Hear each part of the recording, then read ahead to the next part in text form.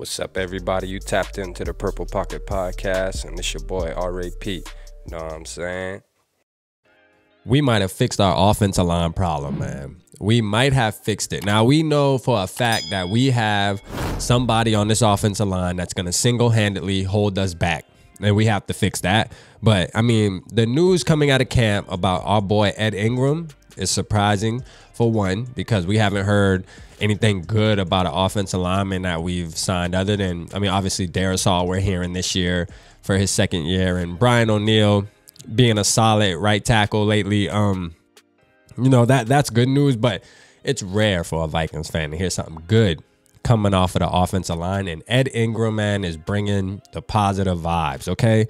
Um Ed Ingram when we drafted him man like I said this dude, man, going back and watching him, he's a savage, bro. He, I mean, he really is. He's just strong, you know, just athletic, just, just what we need, man. Things that we look for in an offensive line. And I said that he's probably the one rookie that we drafted that can be an automatic starter. Like that pretty much has no competition in front of him. Right? He can just step in, get the job. I mean, because there's nobody in front of him. We went into this not knowing who the right guard was gonna going to be. Right? Because we obviously knew that Oli Udoh was not coming in again this year and just automatically starting. That just couldn't happen. Okay, that was horrible.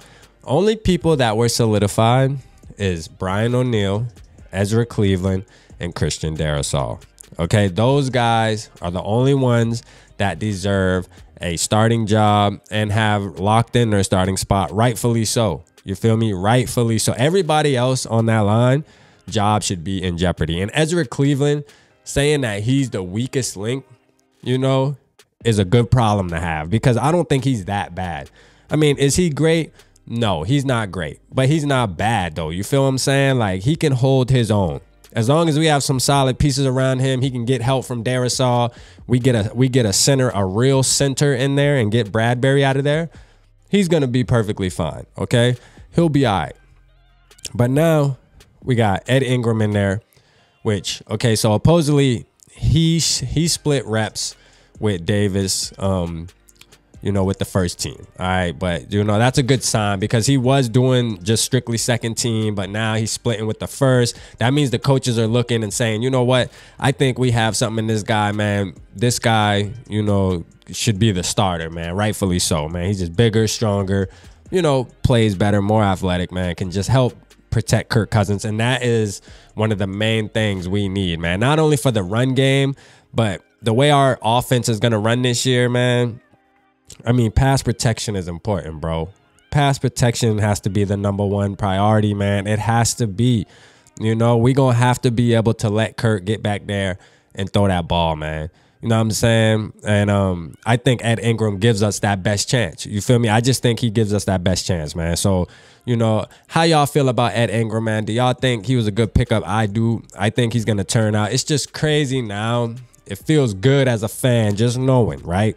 That our line is slowly but surely getting built up how we need it to take the next step, man. You can see everything is happening right in front of our eyes that's going to take us to a Super Bowl. Everything. All right. Pay close attention. Every all the stars are aligning. And Ed Ingram, believe it or not, is a, is one of those stars that's going to align and say, you know what, this offensive line is finally coming together. Like I said, man, let's fix the center, and I think we'll be good. Because um, I have absolutely no faith in Garrett Bradbury, man. That's just it, man. I don't. I think if they keep him in there and we roll him out, he's going to single handedly destroy this offensive line and make it look worse than it really is. To where if we just get somebody average up in there, I mean, we'll look like we'll have one of the best offensive lines in the league, man. That's my take on it, man. Hey, y'all let me know how y'all feel down in the comment section. I want to thank everybody, man. Got me to 600 subs. Next stop, man, 700. Y'all make sure y'all hitting that sub button, man. Let your peoples know to subscribe to Purple Pocket Podcast. Appreciate you watching. I'll let your boy. Appreciate everybody for tapping into the Purple Pocket Podcast. Y'all make sure y'all hit that like, subscribe, and turn the notification bell on. Purple Gang.